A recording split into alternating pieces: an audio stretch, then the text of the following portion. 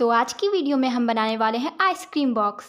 इसके लिए सबसे पहले मैंने माचिस के डिब्बे में ऐसे चॉकलेट कलर का पेंट कर दिया गाइस इसे करने के बाद इसके नीचे मैं वाइट कलर का पेंट कर दे रही हूँ। देन आइज़ बनाने के लिए मैं मार्कर का यूज़ कर रही हूँ। तो एक आइज़ मैं ओपन बना रही हूँ और एक आइज़ क्लोज़ यार क्यूट भी तो लगना चाहिए ना। और फिर ब्लस के लिए मैं रेड पेन का यूज़ कर रही हूँ।